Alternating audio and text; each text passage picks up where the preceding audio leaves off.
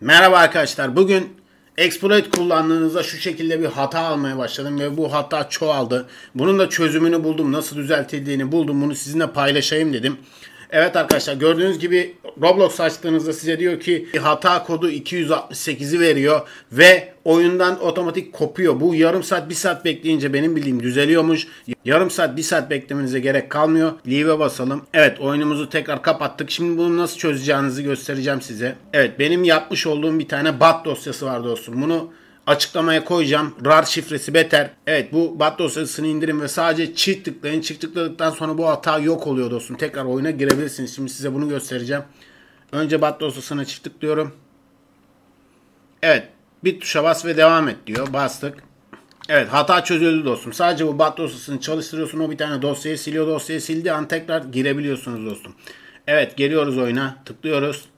Evet bakın tekrar girdim oyuna. Gördünüz mü? Hata yok oldu. İşte bu dostum.